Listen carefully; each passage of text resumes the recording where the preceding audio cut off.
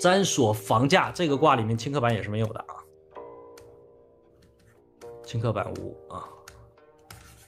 好，这个 我要去要钱，锁房价取什么为用？锁房价取什么为用？哼，占了五个动摇，其实不用重新起卦了。五个动摇叫独镜，独镜卦很好看的，它那一个进爻就行了，啊，不需要重新起。我要收房价，我要什么？我要以财为用，对不对？我目的奔着钱去的，我还要看什么？我要看应爻。我收房价，我不能凭空收吧？我得找人收吧，对不对？我们来看一下啊。好，这个财爻应爻持财，应爻持财，结果应爻干嘛了？应爻入木了。应爻又寻空了，你看，应爻持财又入木又寻空，啊，我呢，我呢，作为止水，我要去想要去冲这个应爻，跟人交涉一下，啊，跟人抬一下，聊一下，结果呢，我也入目了，啊，我也入目了，所以这个事情啊，从占财啊，房价的这个事情，房价的这个事情，可能呢不会有很大的结果，对方呢也不会对你不客气，但他一定会找一些。事情找一些东西推脱，不愿意去付这个房费，这个呢大概是这样的情况，但是我们没有反馈啊，没有反馈。好，接着再看，啊，这个不是轻刻版的这个啊，不是轻刻版的这个，嗯，这个这个卦又给他断死了啊。他说是什么呢？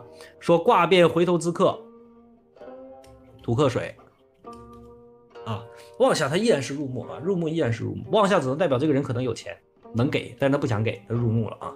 好。那么土克水，然后他说了，房价事小，今年诸事予以谨慎，后于四月复舟而死，翻船了，死了。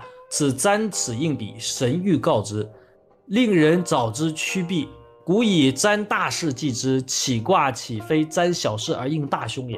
啊，很多人不敢占大事，不敢占生死，怕占生死把自己占没了。但占小事，他也可能应大事，对不对？但是能不能是因为一个卦变回头客就把人给断没了？我个人觉得还是缺少一点说服的啊。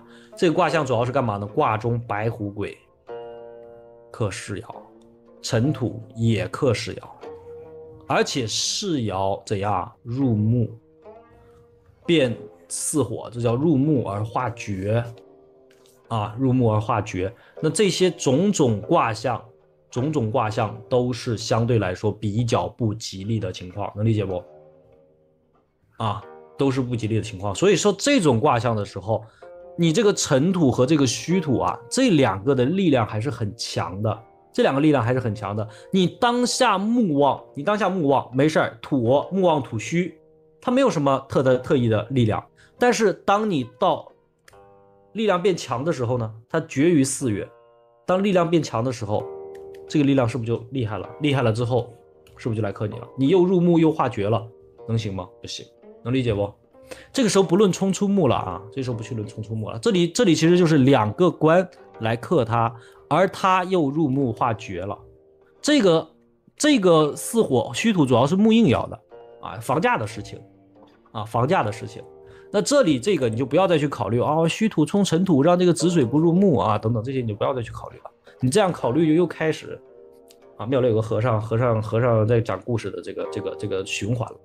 没有必要啊，没有必要，能理解不？这里这里甚至有一点点，就是这两个来克他就已经是定吉凶了，然后止水入木化绝是属于象，是把这件事情变严重的象，再加上大象回头客，啊，这三者放在一起，啊，这三者放在一起，才是有这种倾覆之象啊，倾覆之象就是给给给给